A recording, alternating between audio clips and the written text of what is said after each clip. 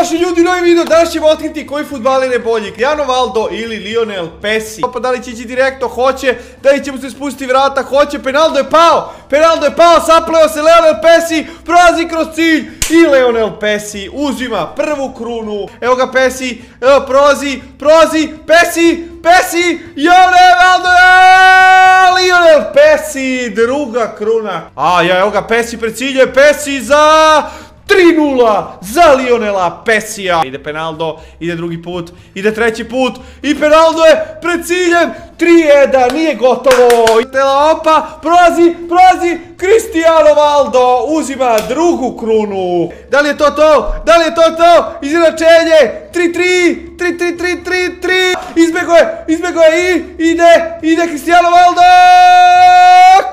Pobe. Verovali ne, desio se preokret i titule idu Cristiano Valdu.